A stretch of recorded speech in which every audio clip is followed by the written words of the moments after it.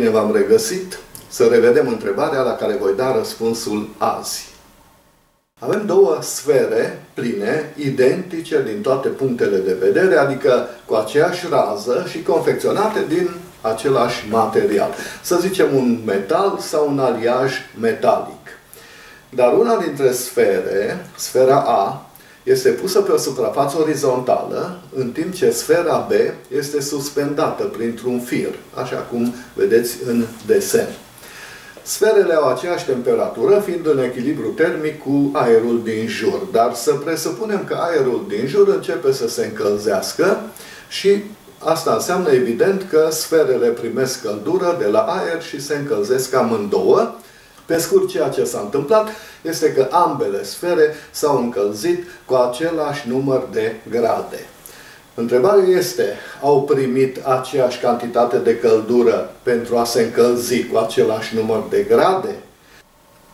Încălzirea corpurilor solide este însoțită de obicei de dilatare.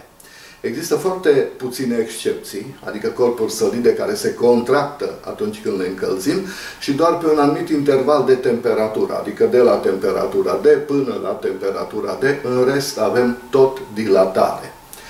Asta înseamnă că metalele și aliajele cu care ne întâlnim de obicei au o comportare normală la încălzire, adică se dilată. Iar dilatarea înseamnă creșterea dimensiunilor unui corp, adică corpul se face mai mare. Acest fenomen este greu de observat cu ochiul liber, fără aparate, pentru că variațiile dimensiunilor sunt foarte mici. Dar trebuie să ținem seama de fenomenul de dilatare în multe cazuri practice, cum ar fi șinele de cale ferată, podurile sau conductele. Trebuie să lăsăm loc pentru dilatare, deoarece forțele care apar prin acest fenomen pot fi foarte, foarte mari, ducând la distrugerea unor structuri.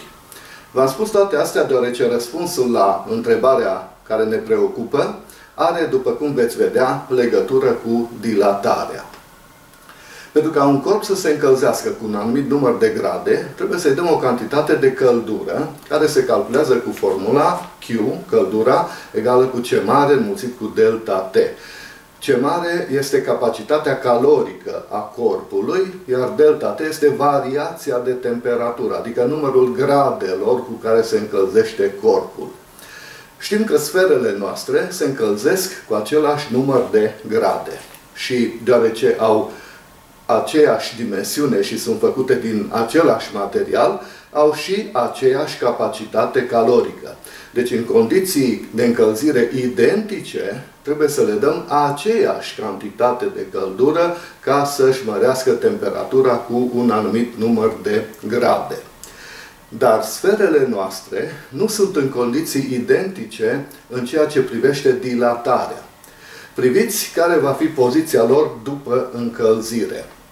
Evident, am exagerat dilatarea ca să puteți urmări mai ușor ceea ce s-a întâmplat. Bila A, deoarece se sprijină și a ridicat centrul de greutate prin dilatare, în timp ce bila B, deoarece este atârnată, și-a coborât centrul de greutate. De aceea, după încălzire, bila A este mai sus decât fusese inițial, iar bila B este mai jos decât era în poziția inițială. Însă, pentru a ridica un corp, trebuie energie. Nici un corp cu densitate mai mare decât a aerului nu poate urca fără să folosească energie pentru asta. Și tocmai din această cauză, dispozitive de tipul butoaielor cu aspirație nu pot ridica apă. Am arătat acest lucru în videoclipul Pompă. Dacă nu l-ați văzut, găsiți linkul în descriere. Dar, dacă pentru a se ridica un corp are nevoie de energie și nu există altă sursă de energie decât căldura din mediul ambient, înseamnă că sfera A trebuie să primească mai multă căldură decât sfera B, deoarece are nevoie de o anumită căldură pentru a se ridica. De fapt, în cazul sferei A, se întâmplă ceea ce se întâmplă în orice motor termic. O parte a căldurii primite se transformă în lucru mecanic. Bila se ridică. În cazul sferei B are loc fenomenul invers, deoarece ea coboară, lucrul mecanic efectuat de greutate se transformă în căldură. Dacă notăm cu Q căldura pe care ar trebui să o dăm unei sfere identice cu sferele noastre, dar care nici nu urcă, nici nu coboară atunci când se încălzește, atunci avem următoarele ecuații.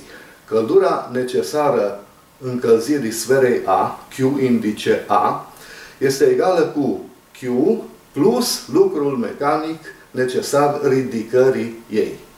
Iar căldura necesară sferei B, Q indice B, este Q minus lucrul mecanic efectuat de greutate la coborârea ei. În cazul sferei A, așa cum am spus, o parte din căldură se transformă în lucru mecanic, în cazul sferei B are loc fenomenul invers. Energia potențială a bilei, care coboară, energia potențială gravitațională, se transformă prin lucru mecanic în căldură. Răspunsul este deci, sfera A are nevoie de mai multă căldură decât sfera B pentru a se încălzi cu același număr de grade. Dar dacă vă întrebați de ce n-ați auzit până acum de această diferență datorată dilatării, este pentru că, de fapt, ea este neglijabilă.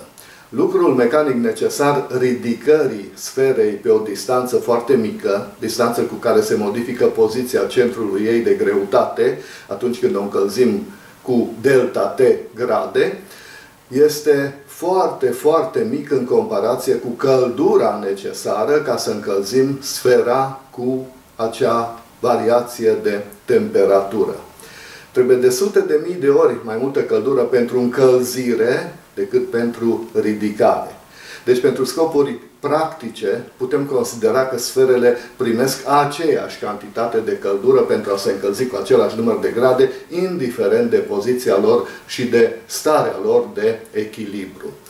Dar, dacă vrem să facem o comparație riguroasă a căldurilor, așa cum v-a cerut această întrebare, trebuie să ținem seama de această modificare a poziției centrului de greutate.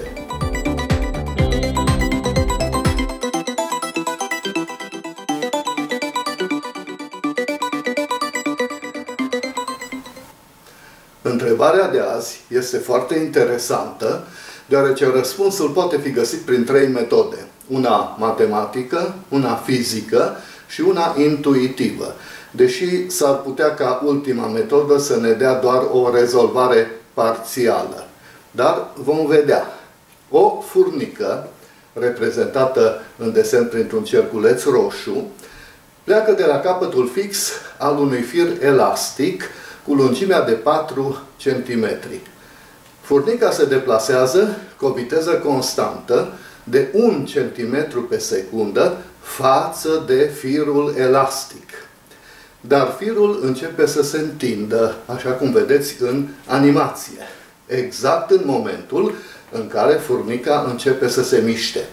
Astfel încât capătul firului opus furnicii se îndepărtează de capătul din care a plecat furnica cu 2 cm în fiecare secundă. Repet, e foarte important, firul își mărește lungimea prin întindere, așa cum face orice fir elastic. Deci alungirea are loc pe toată lungimea firului și nu doar la capăt. Întrebarea este următoarea. Ajunge furnica la capătul firului? Dacă răspundeți nu, asta e tot. Dacă răspundeți da, în cât timp? Succes pe săptămâna viitoare!